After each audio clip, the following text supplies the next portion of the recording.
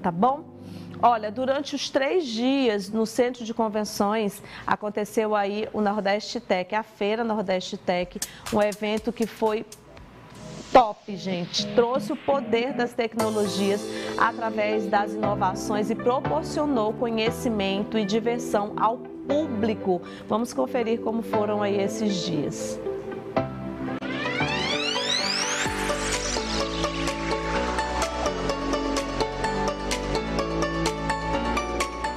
Dias 14 a 16 de julho, o Centro de Convenções de Teresina sediou o Nordeste Tech, feira de tecnologia que reuniu startups, empresas, investidores e entusiastas da tecnologia e da inovação. Bem realista o jogo aí, ó. Eu gostei bastante, deu para desestressar um pouquinho também aqui da realidade. É muito virtual, mas parece real. Tá com medo não? Um pouco. Com entrada gratuita, o evento veio para impulsionar o setor tecnológico e oferecer uma programação diversificada ao longo de três dias. É um evento que nasceu no ano de 2023, o Nordeste Tech, que tem uma a gente prospera muito para os próximos 10 anos em termos de feira, de evolução. São três pautas importantíssimas e principais, que é o digital, a evolução das startups, essa aceleração e, no final, o, o, domingo, o grande dia, que é o dia do gamer, né? que é o, o Brasil é o terceiro maior consumidor de games do mundo. E foi uma combinação de paixão de todo mundo aqui que está na organização. Eu, por ser formado em publicidade e marketing social, queria trazer um pouco de, disso da minha formação para cá, para a feira. No segundo dia de evento, as atrações ficaram por conta da cofundadora do Reclame Aqui, Gisele de Paula, Urias Moura, diretor do Grupo Meio Norte de Comunicação, e Vitor Hugo Almeida, presidente da Invest Piauí. Estou muito feliz com o resultado do Nordeste Tech, né? Acho que o Grupo Meio Norte de Comunicação, a Calor Produções, essa parceria com a Estação I, com o João, com o Tataia, com o Júnior, são, é uma parceria que tem conseguido, conseguiu realmente seu objetivo, fazer um evento de grande é, valia para o Estado, um evento estruturado que trouxe um público grande e que vai virar, sem dúvida alguma, uma marca para o estado do Piauí. Além de palestras, há jogos, exposições e o que há de melhor na tecnologia. Está incrível, eu visitei muita gente, eu, eu fui passando nos stands. Tu acredita que até, até desse brinde que eu gostei, não, gostei de tudo aqui, até, dos, até do brinde. Estou me divertindo muito Estou gostando muito, assim, na realidade eu já conheci o tipo de evento. O Nordeste Tech em si é o primeiro que estou assistindo, mas já tinha conhecido outros eventos da mesma natureza, né? Agora dela já é o primeiro, é a primeira vez que ela vem. Esse evento é de muita importância porque a gente está fomentando uma área de tecnologia que tem que ser expandida, porque é a alta que tá, é o que está em alta no mundo hoje em dia. E o Piauí ele tem muita coisa boa para trazer nesse, nesse sentido, tanto na questão de projetos inovadores, tanto com financiamentos inovadores. E a gente aqui no Oxo, a gente está pretendendo é, ingressar também nessa onda de novas tecnologias e tudo mais com o nosso banco. A Boa FM, a Rádio Jovem, não poderia ficar de fora de um evento de tecnologia como o Nordeste Tech. Estamos aqui, inclusive, ao vivo, direto para Rádio e TV, canal 20.2, com toda a equipe da Boa FM. Já no domingo, último dia de eventos, palestrantes foram o influenciador digital e jogador profissional de Free Fire Bruno Goss, conhecido como Nobru. Fico muito lisonjeado por tudo isso estar acontecendo, até porque é minha primeira vez aqui em Teresina, Piauí, no caso. Então, pô, tá participando do Nordeste Tech com certeza é um feito muito importante para minha carreira.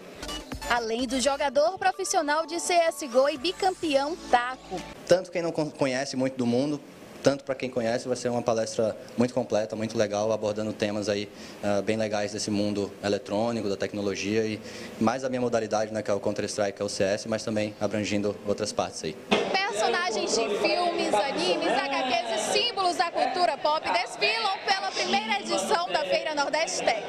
O terceiro e último dia de evento é marcado pelo concurso melhores fantasias de cosplays da região. Minha primeira vez, na verdade, eu sou maquiadora artística e aí eu vi a oportunidade né, no Nordeste Tech e resolvi me arriscar a fazer um cosplay e deu super certo. Eu super recomendo, tanto para pessoas que ainda não conhecem esse meio geek cosplay, né, que também não tiveram a oportunidade de usufruir ainda de um evento desse porte e que nós nos sentimos muito valorizados. A programação está incrível, eu acho que eu já joguei várias vezes, repetidamente nos videogames, tirei fotos com muita gente. Essa feira coloca Teresina e o Piauí no centro desse ecossistema tecnológico que na minha visão, enquanto governador do estado, eu tenho falado muito nisso, é o futuro das oportunidades.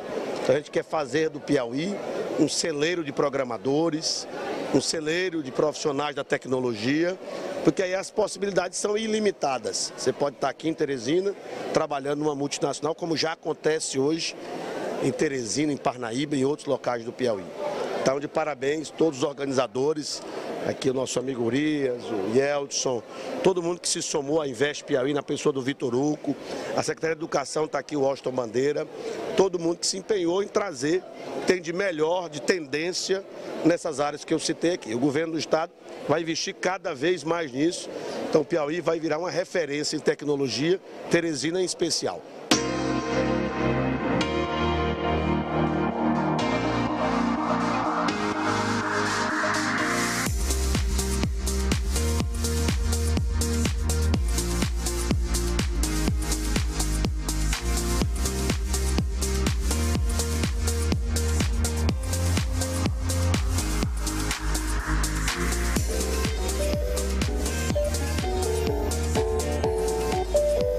História que a gente fala que filho de peixe, peixinho é. Então, gente, olha, o Paulo Guimarães tem grandes filhos e eu sou assim impressionada realmente o quanto que os filhos do nosso PG, é, cada dia que passa eu fico assim mais impressionada com o talento deles. O João Paulo, que é o filho mais novo, né, do Paulo, é o responsável aí pela Nordeste Tech, junto com Yeldson Vasconcelos e outras pessoas que estão junto, mas ele assim lá na cabeça mesmo de tudo, né? O João Paulo, parabéns, viu? A gente ficou aí impressionada. Eu tô assim impactada realmente com essa feira, com a Nordeste Tech. Olha ali o João Paulo. Que menino inteligente danado, viu? Visionário igual o pai. Ele realmente disse: "Olha, vamos fazer a Nordeste Tech e vai ser um verdadeiro sucesso. E Eldson Vasconcelos, Urias Moura, toda a equipe da Rede Meio Norte de Comunicação. Mas assim, eu queria sim dar os parabéns aí para o João Paulo, porque olha aí o João Paulo, gente. Eu vi esse menino, uma criança, e como é, é, é lindo de ver, né? A família crescendo, o pai é, tem os seus filhos e os filhos, cada um dentro das suas áreas, atuando bastante, fazendo o que gosta, fazendo com amor. E o João Paulo, desde o primeiro momento, pensando aí nessa feira, realizando aí essa feira que é a Nordeste Tech. João Paulo, parabéns para você. Eu digo assim que a tia Carla está muito orgulhosa de você, viu? Eu acho que o João Paulo tem a idade da minha filha, da Luísa. Eu vi ele um pequenininho, uma criança e hoje a gente vê aí. É por isso que eu falo sempre para vocês a importância da família, a importância dos pais, das mães, dos filhos. Essa conexão com os filhos ela é muito importante para que eles se tornem adultos de muita responsabilidade, né? Adultos que consigam